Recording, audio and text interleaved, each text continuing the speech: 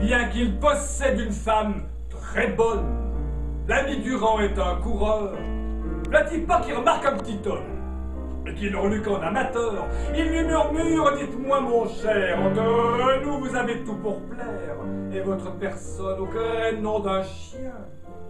Au naturel doit être très bien. Ah, monsieur, répond le petit homme, ce que vous me dites n'a rien qui m'étonne, car fit-il d'un air étourdi.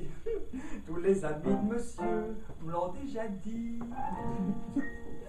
Durant de plus en plus s'emballe, et au petit homme il fait la cour, et pour décrocher la timbale, lui jure toute une vie d'amour. Voyons, ne fais pas le dégoûter, au contraire. Tu devrais être flatté, dans ta chambre je monterai sans bruit. Laisse donc la porte ouverte cette nuit. Ah, monsieur, répond le petit homme, ce que vous me dites n'a rien qui m'étonne. Paraît que je possède un bon lit. Tous les amis de monsieur m'ont dit.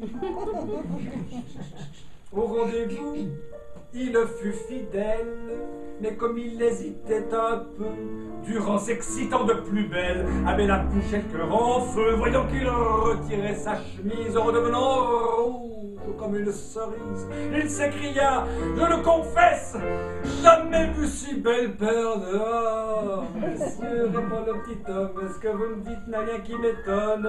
Je comprends que vous soyez ébahi, dame, tous les amis de monsieur l'ont déjà dit.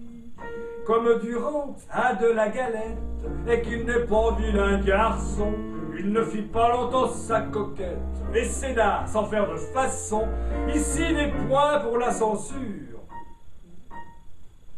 Puis il s'écria, je t'assure, c'est exquis, tu es merveilleux, et que ma femme, bah tu t'y prends bien mieux. Oh monsieur, répond le petit homme, ce que vous me dites n'a rien qui m'étonne, que je m'y prends mieux que madame Pardy. Tous les amis de monsieur me l'ont déjà dit.